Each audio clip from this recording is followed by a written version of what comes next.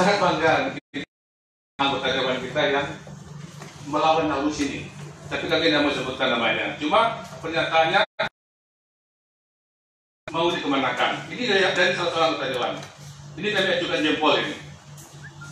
Tapi kalau nggak seperti kolo, ini di sisi ini kawan. Kolo bayu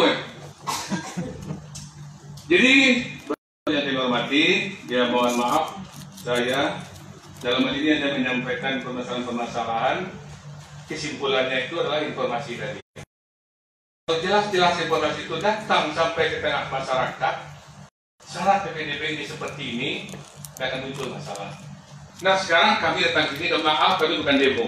Kami hanya menyalurkan unek dan menahan emosi dari kawan-kawan guru honor yang dikatakan tadi, yang mungkin sudah mendesak, Pak Pak di Nasrawa, Pak Mat. Sudah sehingga lancang pula guru mengecek kalau salah Nasrawa, kalau tiko gini apa, tiko dulu. Baik, terima kasih kepada kawan-kawan semua. Sudah cukupkan dari kami dari sekolah tiga orang mewakili mengenai tuntutan aspirasi yang kami sampai kepada uh, Pak semuanya yang di depan dengan segala dengan tunduk kami serahkan semuanya apa kebijakan Bapak kami sami nawal ini kondisinya. Pak menunjuk kami tutup sekolah kami tutup besok kami tutup sekolah semuanya.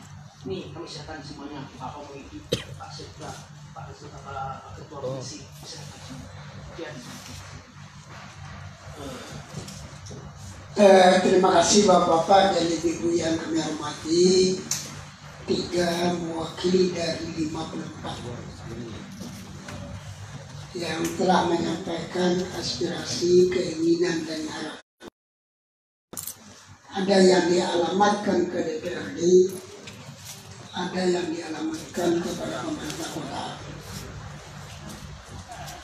Kalau saya menyimak sejenak, seolah DPRD menerima murid baru. Itu yang saya saya, saya angkat gitu. Padahal kondisi tidak seperti.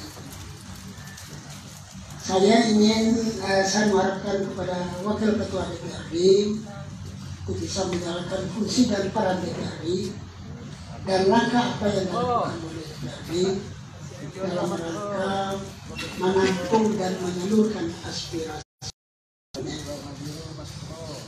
Karena DPRD dengan pemerintahan dua hal yang berbeda, tapi dua hal yang merupakan satu tujuan.